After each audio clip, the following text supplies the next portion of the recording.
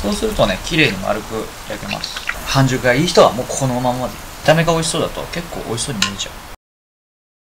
はいどうも。36歳独身貴族です。今回はですね虚無シリーズなぜか大好評いただいてる虚無シリーズですけどもなんで好評なのかが全く分かってません。今日はですね虚無スープ作っていきたいと思います。本当に家にあるものだけでできるレシピなのでパッと作って食べてったらいいんじゃないかな。実用的なレシピですね。このめちゃくちゃ美味しいですねそれを今から作っていきます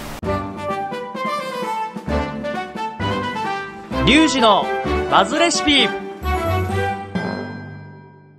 ー材料なんですけども、えっと、まず、卵が1個です。卵1個。あと、長ネギが、別に玉ねぎとかでもいいんですけど、まあ、長ネギの方が、焦がしさ出ると思います。30g ぐらい。な4分の1本ぐらいですね。あと、ニンニク1かけ。ニンニクなければ、生姜とかでもいいんで、生姜もなければ別に、生姜もなくても全然いいんですけど、なければチューブとかでもいいです。あとは、調味料概要欄に書いてありますけども、あと、塩と、あの、鶏ガラスープ、僕はソーミシャンタン使ってるんだけど、その2つと、あと黒胡椒です。はい、その3つだけです。いつもはバカみたいに酒ばっか飲んでるんですけど、今日は虚無なので、カロリーミット、普段マジで薄いわ。このチャンネルの視聴者さんは大体僕を見てに来てるんじゃなくて、料理を見に来てるんだからね。僕はこういうぐらい目立たない感じでいいんですよ。あんまり冷たい水飲むとお腹に響くんだよ。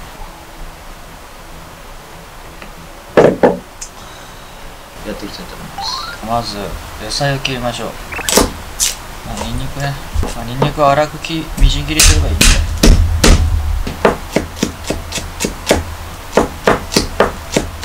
これもめんどくさいって方はねあの乾燥のガーリックチップとかも売ってるんでそういうのでもいいですよ。僕はねいつもニンニクが常備してあるんでこいつで作っちゃいます。安いし。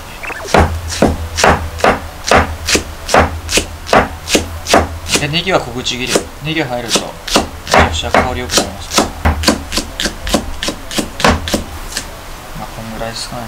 目玉焼き作ります。はいじゃあやります。ごま油使います。あのもともとこの、えー僕の参考にしたスープがですねあ台湾のスープなんですね。台湾の目玉焼きスープです。あの小さじ2杯ぐらい入れてください。卵白ってこの中に2種類の卵白が入ってて水みたいな卵白と固まってゲル状になってる卵白が2種類入ってるんですこれよく観察すると分かります。水みたいな卵白が広がるんですね。そうするとあの目玉焼きが結構大きい目玉焼きになっちゃって形がいびつになっちゃうんですけどもそれを寄せていくやり方がありますんでそれをやっていきたいと思います。あの火はねあの中火ぐらいでいいです。じゃあここに卵割っていきます。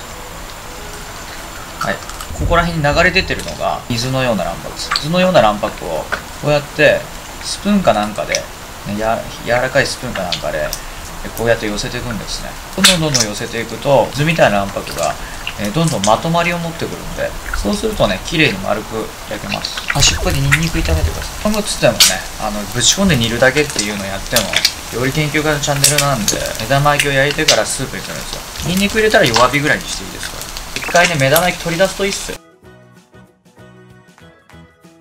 こんな感じでここにスープ入れるんですけどもスープの皿にもう目玉焼きえー、と抜けちゃいました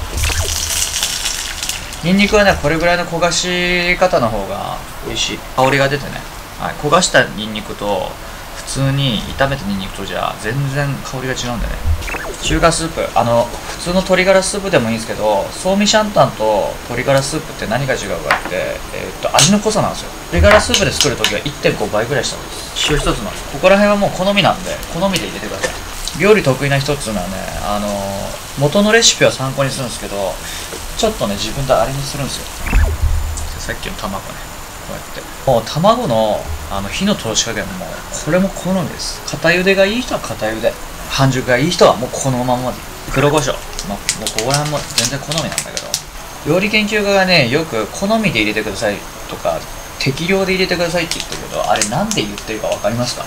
好みっていうさじ加減が分かんないといつまでたってもこう料理が成長しないんですよね。味ってみんな好み違うからね。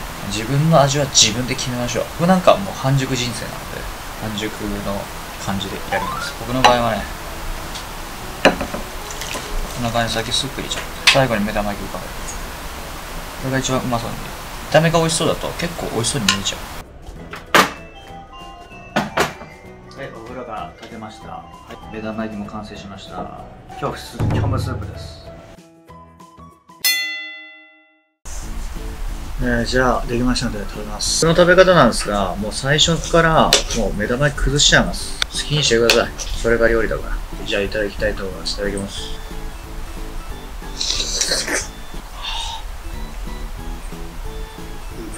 卵1個だけど食べ応えも。ある半熟に溶けた卵黄がいい感じでこのスープに深みを与えてくれてますなんとかでも美味しくご飯もいけるうまっこの材料の割にやとかじゃなくて、抜きにしてもめっちゃちゃんとしたスープですよ。これめちゃめちゃうまいです、これ。これちょっと止まんないですね。ネギ入れてるけど他の野菜とか全全然入れちゃっていいいいですね。目玉焼きだってあの卵いっぱい食べたい人は2つ入れてもいいし、うん何でも好きにやっちゃってほしいやこれだけでも極上のスープですけど、うんこれになんかプラスね、あったらもうそれだけでご飯として成立しますね。めちゃめちゃかったです。ごちそうさまです。してくるわお願いします。料理研究家のコスプレのあれ疲れんだよな お願いします。